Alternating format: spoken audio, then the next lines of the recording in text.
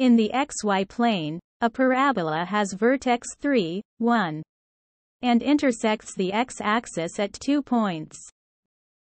If the equation of the parabola is written in the form y equals negative ax squared plus bx plus c, where a, b, and c are constants, which of the following could be a value of c?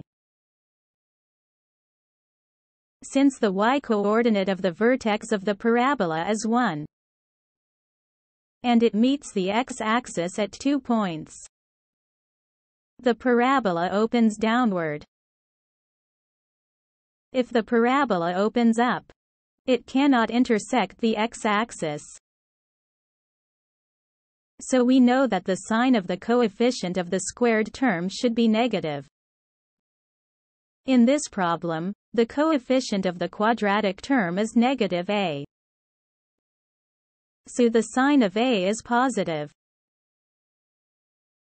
And in the standard form of quadratic functions, the term c denotes the y-intercept of the graph. Therefore, c must have a negative value, and only option A has negative value. The answer is A.